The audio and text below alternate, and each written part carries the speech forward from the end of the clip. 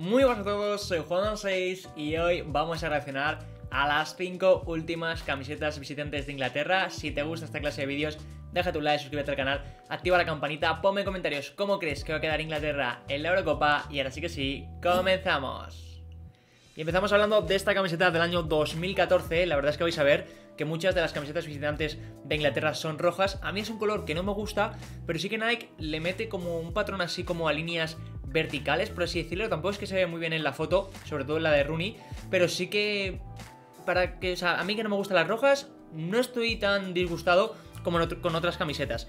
Y luego si podéis ver bien, es que no sé si lo vais a ver bien en la foto porque se ve un poco lejos, pero hay como eh, una franja, vamos, como una cruz, ¿no? La cruz de la bandera de Inglaterra en el medio de la camiseta, ¿vale? Si, si os fijáis bastante, justo pasa una línea vertical por el Nike y por eh, la bandera de Inglaterra, y luego más o menos donde está la altura del número, aunque como digo en Rooney no lo veis ni de coña, eh, hay como una línea horizontal y esa pues forma una cruz.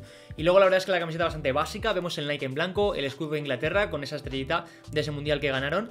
luego el número justo va en el medio, como he dicho, aquí sí que se ve en Rooney y un cuello bastante normalito, redondo, sin pertinas aprovechadas. Lo dicho, no es la mejor camiseta del mundo, pero a mí tampoco es que me disguste tanto como, como otras y pese a que sea rojo, creo que tampoco queda tan mal porque Nike sabe meterle como ese rollo textura, esas líneas que os estoy comentando y desde mi punto de vista no se queda nada nada mal.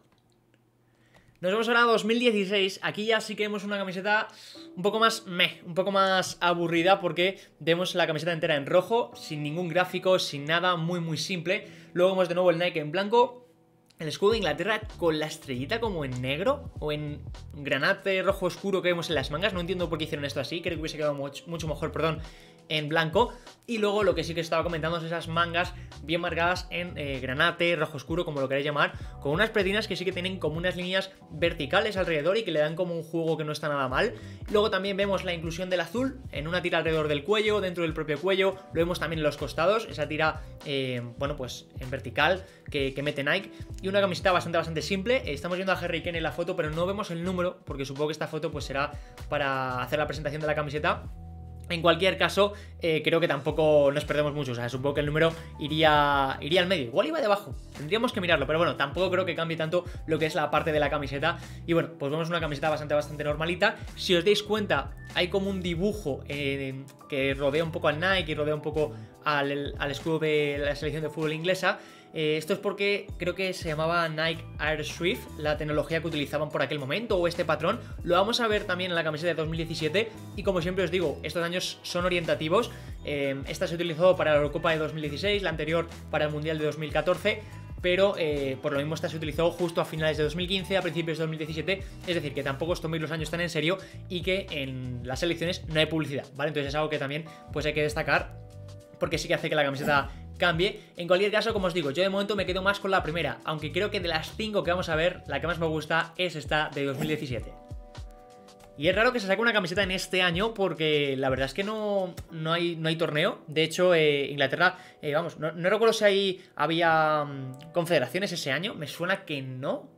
Sí, perdón, sí, sí que había, pero creo que, creo que Inglaterra no fue. Entonces no sé por qué sacaron esta camiseta. En cualquier caso vemos una camiseta, como os digo, en azul, con el Air Swift. Lo vemos que en el Nike y en la parte de Inglaterra, eh, pues hay como una especie de polígono que los rodea, no sé si lo vais a ver muy bien. Luego las mangas las vemos en azul oscuro, el cuello redondo, esa tira en azul también la vemos alrededor del cuello. Supongo que los costados también habrá otra tira en azul oscuro y vemos a Hurricane con el 9, en este caso en un azul así como clarito, un poquito más claro. Creo que además es que creo que es la misma camiseta que en rojo, solo que en azul. Por eso a mí me gusta más, porque me gusta más el azul que el rojo. Aún así es un azul bastante, bastante oscuro y está bien. Está bien que innove, que de vez en cuando Inglaterra pues vaya alternando estos colores. Creo que el clásico siempre suele ser el rojo en las camisetas secundarias, por lo menos desde que yo soy pequeño siempre suelo ver el rojo en Inglaterra como secundario, aunque es verdad que también visten de azul y de esto, y de hecho, perdón, dentro de, un par de camisetas veremos que la última que han sacado, la de que van a usar para la Eurocopa, también es azul, pero antes vamos a ver la de la de 2018 y también, eh, bueno, pues si has llegado hasta aquí, pues dejar un like, te puedes suscribir, activar la campanita, que es importante que lo hagas. Y ahora sí, vamos a ver la del Mundial de Rusia 2018. Ahí estamos, Mundial de Rusia 2018, esta se parece mucho más a la de 2014, la primera que hemos visto, y en este caso sí que veis a la perfección esa cruz de la que yo os hablaba al principio, ¿no? Con esa línea vertical que atraviesa el Nike Inglaterra y luego justo debajo, a la altura más o menos del número, vemos la línea en este caso horizontal. Veis que está conformado todo como por líneas muy finitas, eh, con ese patrón Nike Vector que también vemos en las mangas. Eh, me flipa, este efecto así como rayajo, pintura, creo que está muy muy bien. A mí me gusta bastante. Es una camiseta que yo no recordaba y que, bueno, que con ella Inglaterra pues hizo un muy buen mundial, llegó incluso hasta semifinales, así que pues está genial. Luego también vemos que, bueno, pretinas y cuello en ninguna de las camisetas de Inglaterra están bien aprovechadas, siempre van en el mismo color que la camiseta o que el color principal, el color frontal, pero sí que en, en, en Kane, perdón, vemos el 9 que sí que cambia y lo vemos justo debajo del Nike. En lugar de ir en el medio, va justo debajo del Nike. Yo creo que esta camiseta está muy bien, ¿eh? Para ser roja, lo que os digo, a mí no me suelen gustar mucho las camisetas rojas, pese a que tengo bastantes, ¿eh? Y de hecho en la tarjetita, ahora si queréis, os dejo un vídeo con todas mis camisetas rojas. Pero creo que esta está muy bien trabajada. No se queda sosa, no se queda aburrida, como sí que le había pasado, por ejemplo, a la de 2016. Es verdad que a mí me gusta más el azul, pero ojo, ya os lo adelanto, a mí esta me gusta un poquito más incluso que la que vamos a ver ahora, que es la que vestirá para la Eurocopa 2021 aunque puede haber sido para 2020, que es en azul. Así que, no sé, vosotros ahora cuando la veis en comentarios me podéis poner cuál es vuestro punto de vista.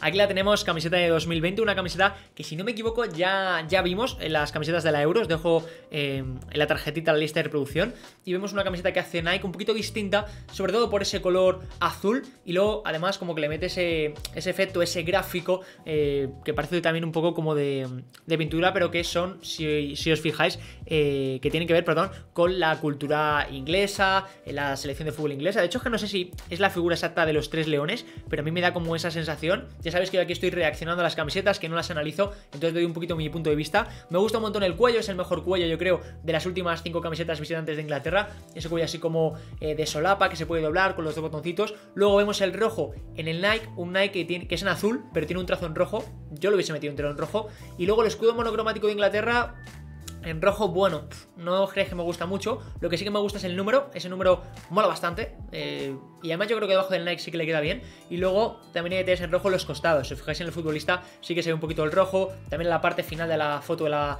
de la izquierda. Así que bueno, desde luego es una camiseta que no está del todo mal. Es verdad que yo no me la compraré y que como digo, prefiero la roja. Prefiero la roja. Y es que pensándolo fríamente, yo creo que sí, que la roja de 2018 es la que más me gusta. Luego quizá esta y luego quizá el azul de 2017 eh, y luego, bueno, pues las otras. Pero bueno, como siempre digo, vosotros en comentarios ponedme qué pensáis, ponedme qué más selecciones eh, queréis traer. Creo que todavía no hemos hecho las 10 eh, locales de Inglaterra, así que dentro de poco las haremos, pero para ello es importante, pues eso, que en comentarios apoyéis esta serie, que me digáis también qué os parece la gente de Inglaterra, si os gustan, si nos gustan, si pensabais que iban a ser todas rojas, si os gustan más las locales que son blancas. ¿Qué os parecería, por ejemplo, que hubiese unas terceras equipaciones en selecciones? Yo os adelanto, a mí no me gustaría tanto. Y bueno, ¿qué pensáis del trabajo de Nike? Creo que sí que hemos visto una evolución, como al principio estaban un poquito menos trabajadas y luego poco a poco pues han ido cambiando, han ido alternando cosas. Así que bueno, desde luego que yo estaría contento si con Nike porque creo que sí que ha habido una evolución y que dentro y que en el futuro quizá pues hagan cosas todavía mejores para la selección inglesa. Y hasta aquí este vídeo, si te ha gustado es importante que dejes un like, también que te suscribas, por aquí te voy a dejar eh, algún vídeo de las 10 últimas camisetas locales, no sé, de España, por ejemplo. Eh, como digo, espero que te haya gustado, me puedes seguir en Instagram, eh, juan 6 yt activa la campanita y mañana nos vemos en un nuevo vídeo. Adiós.